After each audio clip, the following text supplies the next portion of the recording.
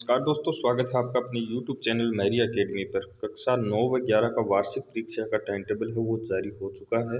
तो यहाँ पर आप देख सकते हैं, आपकी एग्ज़ाम है, वो तेरह अप्रैल से सत्ताईस अप्रैल के मध्य होने वाली है।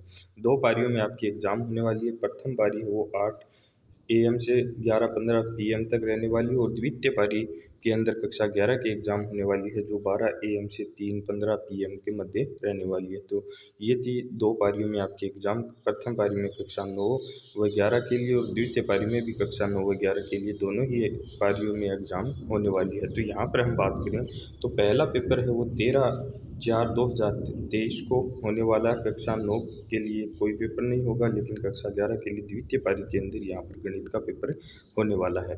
तो यहाँ पर चौदह तारीख के जो है दोनों ही कक्षाओं का अवकाश रहने वाला है। फिर पंद्रह तारीख की बात करें तो पंद्रह तारीख के लिए कक्षा नौ का पेपर नहीं होने वाला और कक्षा ग्यारह के लिए द्वितीय पारी में भूगोल का पेपर होने वाला है।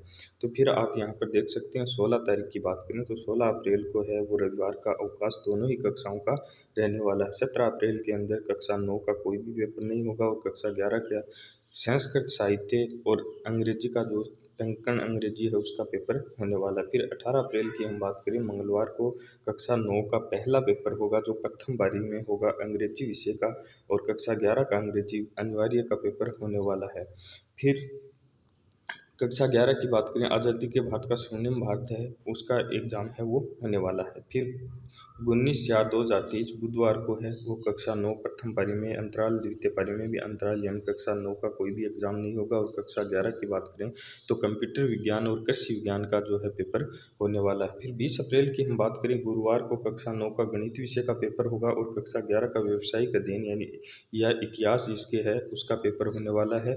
और फिर कक्षा ग्यारह के अंदर, द्वितीय बारी के अंदर जीव विज्ञान कृषि जीव विज्ञान, अंग्रेज़ी साहित्य का पेपर होने वाला है। फिर इक्कीस अप्रैल की हम बात करें तो शुक्रवार के दिन कक्षा नौ व ग्यारह दोनों ही कक्षाओं का अवकाश रहने वाला है। फिर हम बाईस तारीख की बात करें तो बाईस तारीख को आपका जो पेपर है, वो नहीं होगा दोनों ही कक्षाओं के है, वो अवकाश होने वाले हैं। फिर तेईस तारीख को रविवार का अवकाश रहने वाला है। चौबीस तारीख की हम बात करें तो सामाजिक विज्ञान का कक्षा नौ का पेपर होगा।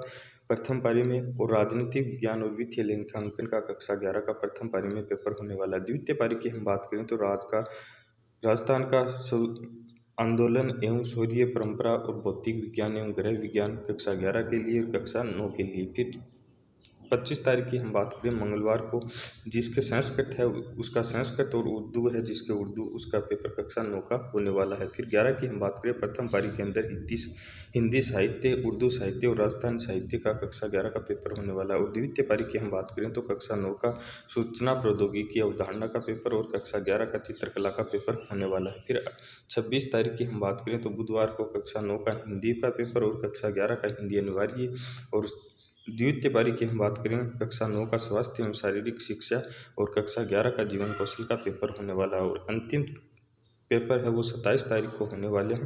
तो कक्षा नौ का सत्ताईस तारीख को पेपर होगा, वो अंतिम पेपर विज्ञान विषय का रहने वाला है। और द्वितीय पारी के प्रथम पारी के अंदर कक्षा ग्यारह का है, वो अर्थशास्त्र या टंकन हिंदी का पेपर होने वाला है।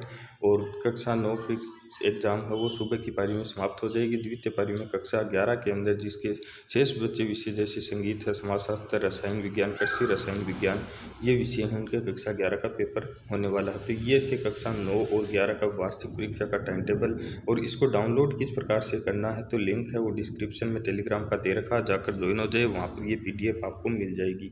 चैनल के साथ आप बने रहें। चैनल पर पहली बार विज़िट करें तो सब्सक्राइब करके बेलाइकन को प्रेस कर लें, ताकि कक्षा नौ से संबंधित जो भी अब अपडेट है वो इस चैनल पर आपको मिलती रहे। चैनल के साथ बने रहें चैनल के साथ जुड़ने के लिए आपका धन्यवाद।